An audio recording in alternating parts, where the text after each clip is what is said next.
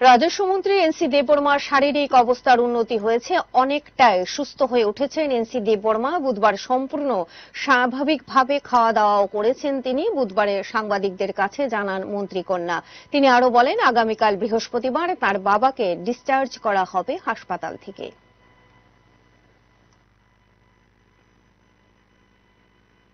আছেন? হ্যাঁ কে জানি মিথ্যা মানে প্রচার করল যে বাবা নাকি নাই। কিন্তু সেটা ওই বলাটা মানে ঠিক না কিন্তু তাই তো এখন এখন পর্যন্ত সুস্থ হয়ে আছে। কতক্ষণ পরে আগে মানে একটু খাওয়া দাওয়া করল তারপরে ডাক্তাররা এসে দেখা করে গেল।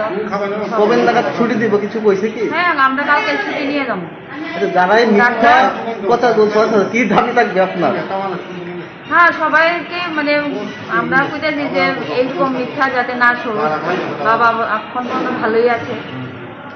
আমরা যে কালকে আমরা ছুটি দিয়ে নিয়ে যাব, কিন্তু বয়স তো হইছে না, তার জন্য একটু তো দুর্বল কতদিন সময় তাদের ডায়াবেটিসের প্রবলেম ছিল এখন।